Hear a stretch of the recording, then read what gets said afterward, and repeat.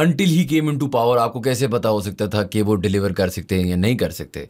मतलब he had studied from Oxford उनको कुछ ना कुछ आइडिया था। एंड टू बी ऑनेस्ट मतलब बाकी तो डायनेस्टी पॉलिटिक्स चल रही है तो क्या कंपैरिजन है? और बाकी जनरल हैं वो भी एक अलग स्टोरी है। ओके सो देखो again see this is a very big area to focus on ये कोई एक फैक्टर नहीं है। है।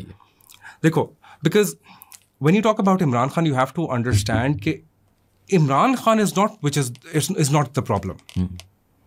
The problem is the severe gullibleness of our nation. The culture The culture.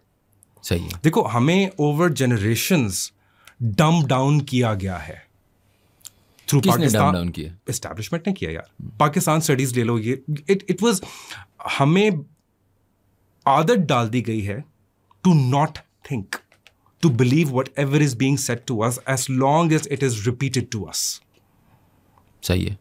ठीक है? हमें हमारी अपनी हिस्ट्री का एक वर्जन पता है।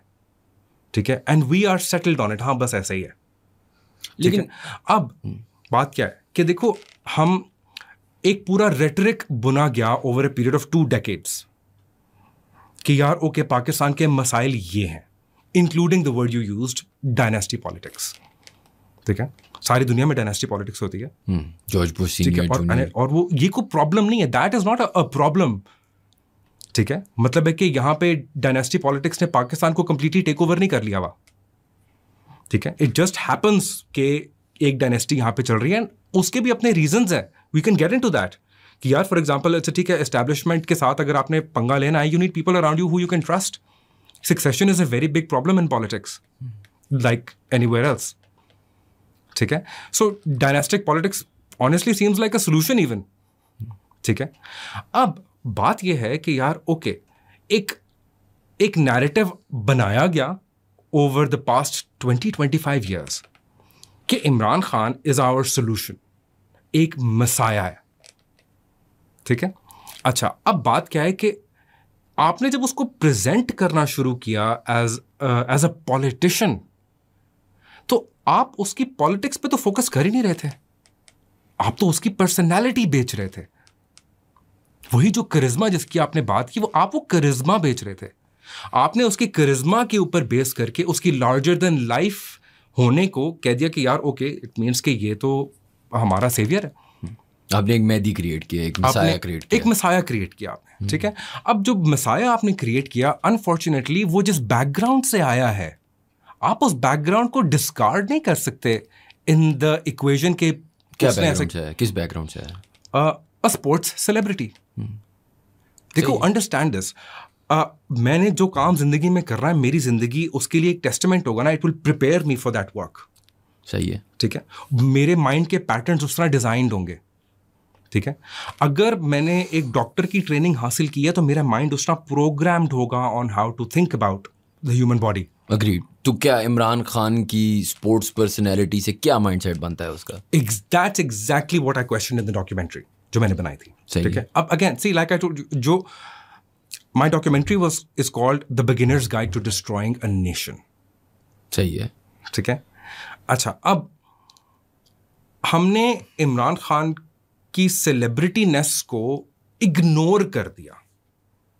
Because- इनफैक्ट एंजॉय किया क्या? मतलब इग्नोर क्यों किया?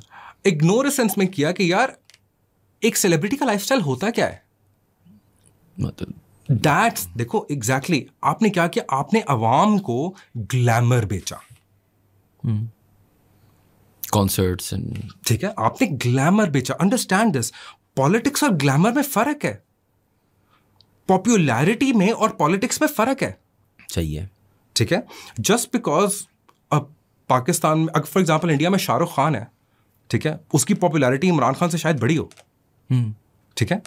अब क्या इसका मतलब उसको प्राइम मिनिस्टर बना दिया जाए? इफ़ यू वांट्स टू लेकिन मैं इसमें एक आर्ग्यूमेंट करता हूँ।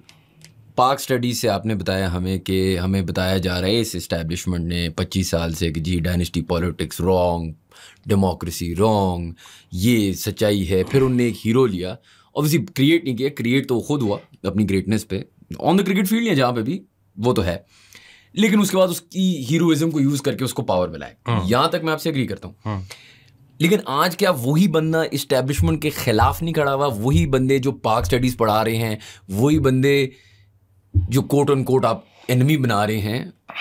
तो मुझे जो बात थोड़ी सी समझाएँ आप कि अगर वो एनिमी हैं तो आज खान जैसे भी वो पावर में है जैसे भी उसको वो माइक्रोफोन मिला जिससे वो आज आवाज़ उठा रहा है आ, आज वो उनके खिलाफ नहीं उठा रहा? बिल्कुल उठा रहा है। अच्छा ढेर the interesting part of the equation Pakistan के साथ एक बहुत बड़ा हाथ हुआ है। और ये हाथ एस्टैब्लिशमेंट ने किया है। अच्छा। वो हाथ क्या हुआ है? वो हाथ ये हुआ है कि the ultimate deception was created देखो डिसेप्शन ऐसी नहीं होगी जो आपको समझ में आ जाए फॉरन इमीडिएटली डिसेप्शन होती वो है जो आपको immediately you will buy it ठीक है? यू विल बाय इट कि हाँ यार मतलब जिस तरह आपने कितने लोगों से सुना होगा कि यार हाँ एक दफ़ा फ़र्स्ट लव इमरान खान के साथ ज़रूर हुआ था then I grew up same happened with lot of people मेरे साथ भी एग्जैक्टली exactly ऐसे था. In the beginning the first couple of election I was totally for it सही है। मैंने तो 2013 में जाके फाइनली डिसाइड किया कि no I am not part of PTI anymore अच्छा।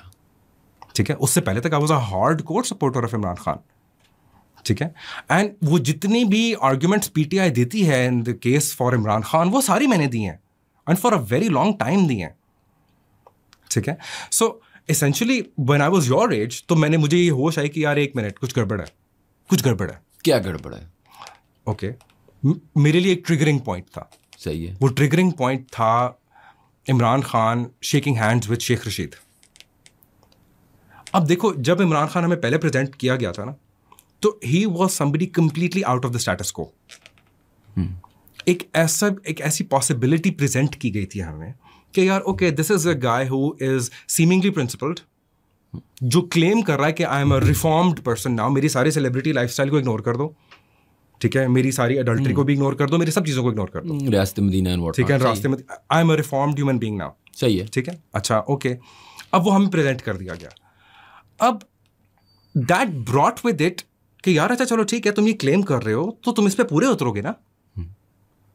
अब बात ये थी कि 2013 में आके जब उसने शेख रशीद के साथ हाथ मिलाना शुरू किया और बाकी सारे इस तरह के पॉलिटिशियंस इंसर्ट करने शुरू कर दिए तो that started going against what he was himself representing why do you think he did that it's it was convenience कि अच्छा और किसी तरीके से पावर नहीं मिल रही तो मुझे यही लोग चाहिए। सही है। ठीक है? अच्छा और वो कहने की बात तो ये कि शेख रशीद हम सबको पता है कि वो किसको रिपोर्ट करता रहा है throughout his political career अब मेरे लिए तो मुशरफ के टाइम पे I was one of the odd ones के जो एंटी एस्टेब्लिशमेंट होना शुरू हो गया था। ठीक है? Although lot of people are in a very deep love affair with what Musharraf did to this country I am not ठीक है? अब उस टाइम से मैं मेरी वो ब्रेन वॉशिंग हटना शुरू हो गई थी। ठीक है? अब as time started to pass मुझे ये भी रियलाइज़ होना शुरू हुआ कि मुझे जो पॉलिटिक्स का वर्जन बताया गया है थ्रू द मीडिया उसमें प्रॉब्लम्स हैं भाई। उसकी इंटरप्रिटेशन के अंदर बड़े मसले हैं। जैसे कि? फॉर एग्ज़ाम्पल जब नवाज़ शरीफ की गवर्नमेंट होती थी तो Benazir was the bad one तो I knew everything bad about Benazir. जब बेनज़ीर की गवर्नमेंट आती थी तो everything was bad about Nawaz Sharif. जब मुशरफ की गवर्नमेंट आती थी तो everything was bad about all politicians सारे पॉलिटिशियंस करप्ट हैं करप्ट हैं करप्ट हैं करप्ट हैं करप्ट हैं करप्ट हैं करप्ट हैं। ये नारा इतना लगाया मुशरफ ने अपनी डिक्टेटरशिप को जस्टिफाई करने के लिए। सही है। ठीक है? अब इन सारे नैरेटिव्स के अंदर आपने आवाम को कंप्लीटली कंफ्यूज कर दिया कि अच्छा ठीक है हम चाहते क्या हैं?